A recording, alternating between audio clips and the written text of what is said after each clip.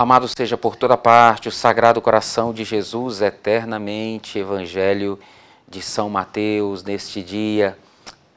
Estamos no tempo quaresmal, tempo de mudança, tempo de reescrevermos tudo novamente, sem nenhuma vergonha, sem nenhum medo. Vamos ser ousados, minha gente.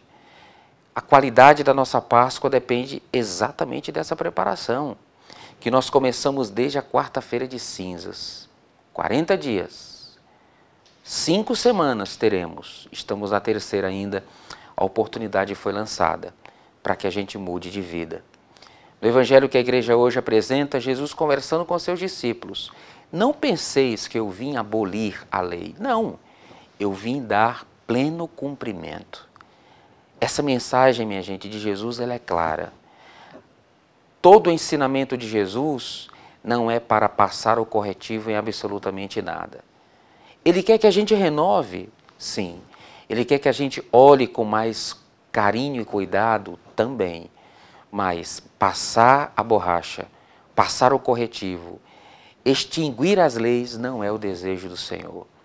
Tanto que Jesus também afirma no Evangelho de hoje: quem não cumprir com as leis e ensinar os outros também a não cumprir, será menor no reino dos céus.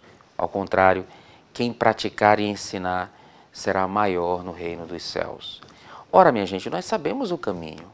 É da prática, é do cumprimento, é de exercer tudo aquilo que Jesus fez ao longo da sua vida, vivendo para fora o tempo todo, olhando com amor e com carinho para as pessoas, estendendo a mão, ajudando o necessitado, ajudando o nosso próximo.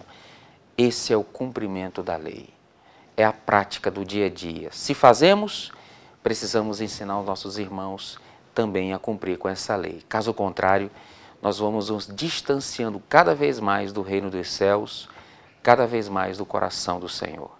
Desça sobre vós a bênção de Deus que é todo-poderoso. Pai, Filho, Espírito Santo. Amém.